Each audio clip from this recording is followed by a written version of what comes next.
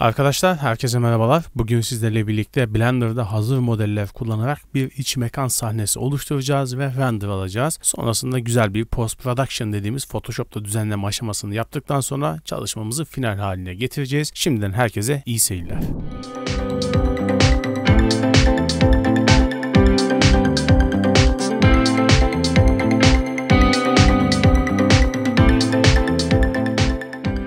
Arkadaşlar şimdi Polyheaven sitesinden modellerimizi indirmeden önce ufak bir detay vermek istiyorum. Blender'ın 3 versiyonu yani Blender 3.0 versiyonu ve üstündeki versiyonlarda olan bir özellik var. Asset Browser özelliği. Asset Browser nedir? Hemen hızlı bir şekilde bahsedelim. Kendi belirlemiş olduğumuz hazır modelleri veya materyalleri hızlı bir şekilde sahnemize eklememize yarayan bir özellik. Bunu da zaten kullanımı video içinde göstereceğim. En azından hani mantığının ne olduğunu çok iyi bir şekilde kavrayacaksınız. Şimdi bunun kullanımına geçmeden önce ufak bir ayar yapmamız gerekiyor. Hemen ondan bahsedelim. Bilgisayarınızda herhangi bir dizine bir tane klasör oluşturmanız gerekiyor. Ben şöyle bir dizine bir tane 3D asset adında bir tane klasör oluşturdum. Şimdi buradaki adres satırını Ctrl C ile kopyalıyorum. Hemen şimdi Blender'a geçiyoruz. Blender'a geçtikten sonra Edit Preference kısmına geliyoruz arkadaşlar. Bu kısımdan hemen en alttaki File Path kısmına geliyoruz. En altta Asset Library kısmına geldiğim zaman hatta şurayı biraz büyütelim. Buradan yeni bir tane yol ekleyeceğiz. Hemen şuraya tıklıyoruz. Yeni bir tane bizden yol belirlememizi istiyor. Hemen Ctrl V yapıyorum ve benim belirlemiş olduğum klasörü seçiyorum ve buradan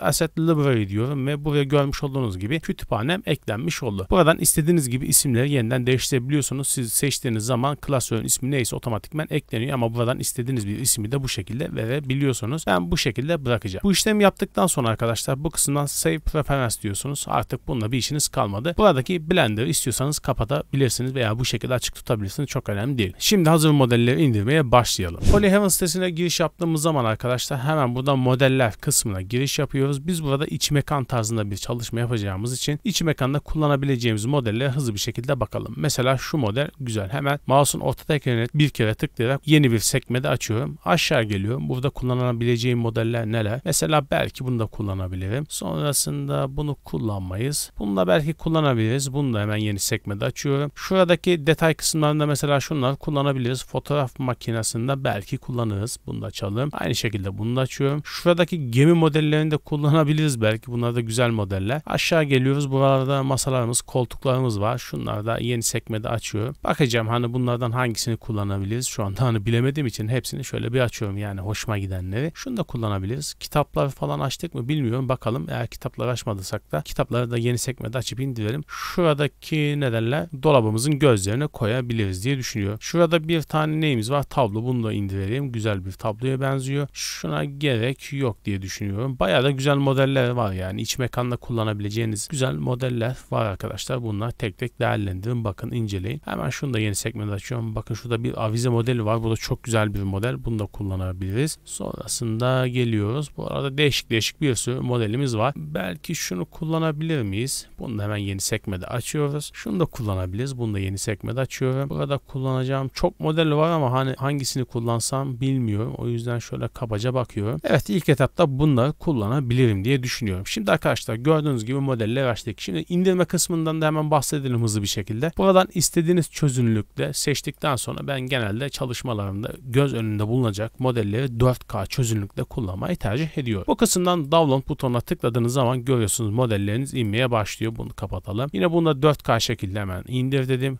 Buna geliyor. Bunu da aynı şekilde 4K olarak indir dedim. Buradaki modellerimin hepsini ben 4K formatında indirmeye başlıyorum arkadaşlar. Bunların hepsini indirdikten sonra kaldığımız yerden hızlı bir şekilde devam edelim. Evet arkadaşlar dosyalarımız indi. Hepsini seçiyorum. Sağ klik buraya çıkart diyerek WinRAR ile hepsini çıkartmaya başlıyorum. Hepsinin ortak bir tekstür klasör içinde kaplamaları olduğu için hepsi bir klasörün içine birikecek arkadaşlar. Evet çıkartma işlemi bitti. Zaten burada zip dosyaların seçili olduğunu görüyorsunuz. Sağ klik delete diyerek bunları bunları siliyorum arkadaşlar. Burada zip dosyalarının artık bir işim yok. Evet şimdi sıra geldi artık Asset Browser kısmında bunları nasıl ekleyebiliriz? Hemen bunları hızlı bir şekilde başlayalım. Şimdi arkadaşlar hemen sırasıyla modellerimizi açarak nasıl ekleyebileceğimizi gösterelim. Birinci modelimizi açtık hemen böyle geldi. Pencereler farklı bir şekilde açılabilir. Çok sorun değil. Hani aklınız karışmasın. Her seferinde şöyle bir işlem yapacağız. Burayı açıyoruz. Bu kısımdan neye geçiyoruz? Hemen en alttan Asset Browser kısmına geçiş yapıyoruz arkadaşlar. Şimdi buradaki kısma tıkladığımız zaman hatırlarsanız ilk başlarda kendimize bir tane yol oluşturmuştuk. Yani bir tane klasör oluşturmuştuk ve klasörümüzü de buradan seçiyoruz. Bu işlemi yaptıktan sonra arkadaşlar objemiz seçili. Buradan görüyorsunuz zaten objemizin seçili olduğunu. Şimdi buraya geldiğimiz zaman objemiz burada gözüküyor. Yani outliner kısmında. Buradan objemizi bulduktan sonra sağ klik yapıyorsunuz ve buradan Mark as Asset kısmına tıkladığınız zaman gördüğünüz gibi buraya objemiz geliyor. Şimdi burada gruplandırma da yapabiliyorsunuz. Mesela şöyle yapalım. Direkt tıkladık. Bir tane katalog oluşturduk. Çift tıklıyorum. Buna bir isim verelim. Ben direkt mobilyalar yazdım. Sonrasında arkadaşlar mobilyaların içine de bir tane grup oluşturuyorum yine. Burada nasıl anlatabilirim? Burada bir tane ana başlık oluşturuyorsunuz. Ana başlıkların içine de bu şekilde kataloglar oluşturabiliyorsunuz. Mesela buna da diyelim ki koltuklar diyelim. Evet koltuklar diye bunun altına da bir tane alt başlık olarak oluşturduk. En alttaki seçeneği seçtiğim zaman modelim karşıma geliyor. Bunu tutuyorum ve koltukların içine sürüklüyorum ve bırakıyorum arkadaşlar. Gördüğünüz gibi artık koltuklar kısmını seçtiğim zaman burada koltuğum gözüküyor. Ctrl S ile bunu kaydediyorum ve kapattım. Şimdi buradaki işlemi yaptığım zaman bakın şuraya hemen asetlerimiz gelmeye başladı. Bu işlemi hepsine tek tek sırasıyla yapıyoruz arkadaşlar. Hemen bunda da bir tane örnek olarak göstereyim hani aklınız karışmasın diye. Şimdi yine aynı şekilde arkadaşlar timeline kısmından bunu açabilirsiniz veya timeline sizde bu şekilde gözükmüyorsa şuradan yeni bir pencere de açabilirseniz bu kısımdan direkt Asset Browser kısmına geçiyorsunuz. Sonrasında arkadaşlar buradaki objemiz ismini buluyorsunuz. Sağ klik yaptıktan sonra Mark as Asset kısmına tıkladığınız zaman objeniz buraya geliyor. Şimdi mobilyalar içine geliyoruz. Buradan bir tane daha oluşturabiliriz. Tıkladım. Çift tıklıyorum. Buna da vazolar diyelim. Evet vazolar hatta başında şöyle büyük yazalım. Evet vazolar diye oluşturduk. En alttakini seçtiğiniz zaman objeniz karşınıza gelecektir. Buradan da yine aynı şekilde 3'te asset kısmını seçebilirsiniz ki seçmeniz de gerekiyor zaten. Şimdi yine bunu seçiyorum ve bunu da tutup hemen vazoların içine sürükleyip bırakıyorum ve Ctrl S ile bunu da kaydedip kapatıyorum arkadaşlar. Buradaki işlemi hepsine tek tek yapıyoruz. Son olarak da kamera kısmından bir tane hızlı bir şekilde sizlere göstereyim. Sonrasında siz artık kendi başınıza yapacaksınız arkadaşlar. Bu arada kaplamaların bazıları 2K bazıları 4K hani kasmalar falan olmasın diye bu şekilde indirdim ben. Yine tıklıyoruz. Şimdi buradan bakalım. Hemen kameramızın buradan ismini görüyoruz. Bakalım bu neymiş. Mesela bunları birleştirelim arkadaşlar. Ctrl J ile bunlar tek parça haline getirdik. Bu şekilde ayrı olan objeleri de Ctrl J ile birleştirebiliyorsunuz. Hemen geliyoruz. Bu kısımdan 3D asset yani oluşturduğumuz klasörü seçiyoruz. Mesela buna da bir tane de dekollar adında oluşturabiliriz. Hemen dekollar adında bir tane alt başlık oluşturuyorum. Yine buraya geliyorum. Hemen geldim sağ klik. Buradan da hemen asset browser'a bunu ekle dedim. Ve bunu da hemen tutarak dekolların içine atıyorum ve Ctrl S ile bunu kaydedip kapatıyorum. Evet arkadaşlar bu yaptığımız işlemi indirmiş olduğumuz bütün modelleri hemen hızlı bir şekilde yapıp kaldığımız yerden devam ediyoruz. Evet arkadaşlar şimdi modellerimizi ayarladık. Sıra geldi texture yani materyal ayarlamalarına. Asset Browser kısmından materyallerimizi nasıl ekleyebiliriz hemen onunla başlayalım. Yine Polyheaven sitesinden texture kısmına geliyorum ve buradan çalışmamda kullanacağım texture'lerimi indirmem gerekiyor. İlk başta ne kullanacağım? Duvarlara bir tane plaster yani duvar materyal atacağım için ilk başta plaster kısmına geliyorum. Bakalım burada neler kullanabilirim. Şöyle hızlı bir şekilde hızlıca bakıyorum. Evet şunu kullanabilirim diye düşünüyorum arkadaşlar. Duvarda şöyle bir materyal kullanacağım. Buradan 4K veya 2K formatında istediğiniz formatlarda bunları indirebilirsiniz. Ben bunları yine 4K formatında indireceğim. Şimdi bu inmeye devam etsin. Hemen yine texture kısmına geliyoruz. Yerde yani zemin kısmında ahşap tarzında bir parke kullanacağım. Hemen yine buradan nereye geliyoruz? Wood kısmına. Buradan da floor yani laminat da diyebiliriz aslında. Buradan bakalım şu biraz daha güzel gibi ama bakalım farklı bir şeyler var mı? Evet bunu da buradan indirebiliriz. Arkadaşlar sadece Polyheaven diye düşünmeyin. Birçok materyal sitesinden tekstürler indirebilirsiniz. Ben hepsini toplu bir şekilde buradan indireyim diye burayı kullanıyorum. Yine bu kısımdan da zeminde bunu kullanabiliriz. Bunda 4K şeklinde hemen download butonuna tıklayarak bunu da indirmeye başlıyoruz. Bunlar da indikten sonra devam edelim. Evet arkadaşlar tekstürlerimiz de indi. Bunlar da yine asset klasörümüzün içinde materyaller adında bir tane klasör oluşturdum. Onların içine hemen şöyle yapıştırıyorum. Bunları da hemen şöyle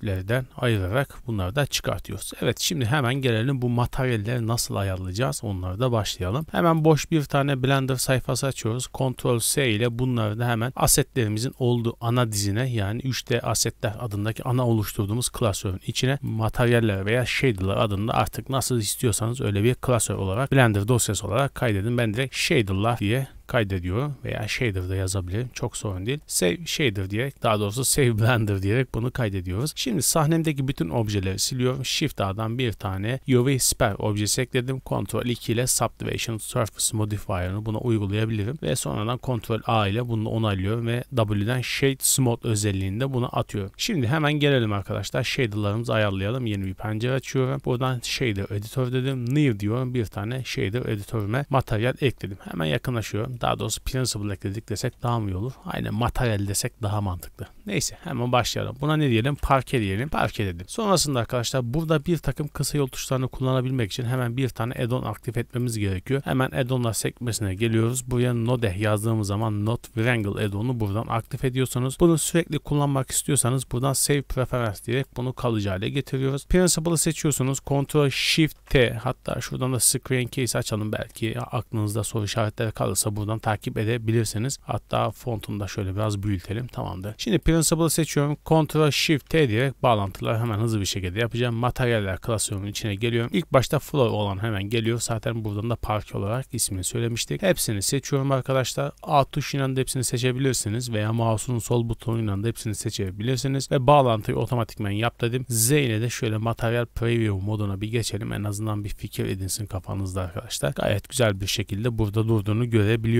Burada displacement'ı silebilirsiniz istiyorsanız. Yani çok da kullanacağınızı tahmin etmiyorum. Tamam birinci materyalimiz bu şekilde geldi. Shift ile bunu kopyalıyorum. Şöyle yanına koydum arkadaşlar. Buna da ne diyelim? Şuradan ilk başta bir kopyalayalım bunu. Sonrasında buna da duvar diyebilirsiniz veya direkt plaster de diyebilirsiniz arkadaşlar. Hemen bağlantılarını siliyorum plaster'ımın. Yine seçiyorum Ctrl Shift T dedim. Hemen geliyorum. Bir geri daha geldim. Buradan da wall klasörün içinden yine bunların hepsini seçiyorum ve bağlantılarını otomatikmen yap dedim. Yakınlaştığımız zaman da böyle bir görüntüsü bizleri karşılıyor arkadaşlar. Yine buradan displacement'ı silebilirsiniz. Genelde şu 3 map dosyası bizim işimizi görüyor. Tabi yerine göre bunlar değişebiliyor arkadaşlar. Buradan da bakın buradan duvarımızın daha da böyle detaylı bir şekilde belli olmasını sağlayabiliyorsunuz. Yine burada genel materyal ayarlarımızı yaptığımızı varsayıyorum. İki tane materyal kullanacağım için. Buradaki varyasyonu çoğaltabilirsiniz arkadaşlar. Ben bu ders esnasında kullanacağım iki tane ana materyali yapmış oldum. Şimdi bunları hemen gelelim buradaki Asset Browser'a nasıl ekleyeceğiz? Hemen buna Asset Browser diyoruz. İlk başta Ctrl S ile yine bir projemizi kaydedelim. Donmalar, kasmalar belki yaşayabiliriz. Bu kısma geldikten sonra yani şu iki pencerenin orta birleşim yerine sağ klik buradan Join Area diyerek burayı kapatıyorum. Hemen buradan da yine 3D Assetler klasörümü seçiyorum arkadaşlar. Burayı biraz daha büyütelim. Buraya geliyoruz. Yeni bir tane kategori ekledik. Hemen çift tıklıyorum üstüne. Adına materyal yazıyorum hemen. Veya shader de yazabilirsiniz veya materyal. Burada tamamen tercih size kalmış bir şey. Ben buraya direkt shader olarak belirledim arkadaşlar.